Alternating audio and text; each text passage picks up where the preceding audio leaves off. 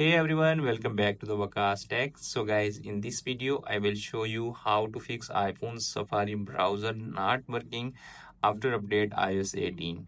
Lot of iPhone user facing this kind of issue. Even I am also facing that kind of issue on my iPhone 12 that recently update on iOS 18.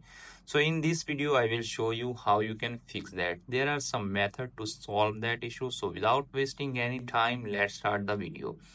First of all, make sure you are connected with strong Wi-Fi or cellular data when you try to use your Safari browser. Okay.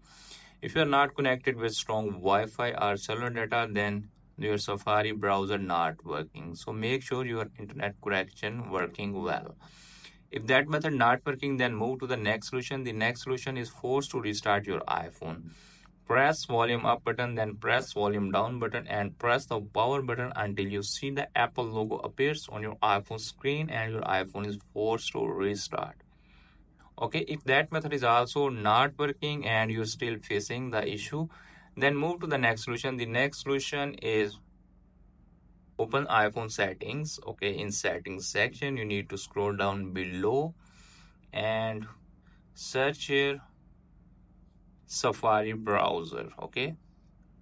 You can see appears on screen. There is no Safari browser showing here right now in iPhone okay? So tap on apps. After tapping the apps you need to scroll down below.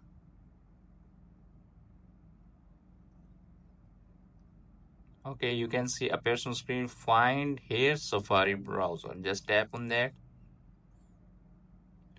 okay you can see appears on screen showing here all options showing here. Make sure your iphone safari browser selected on default browsing app like this. And after that you need to scroll down below and turn on all settings that are showing right now in my iphone okay?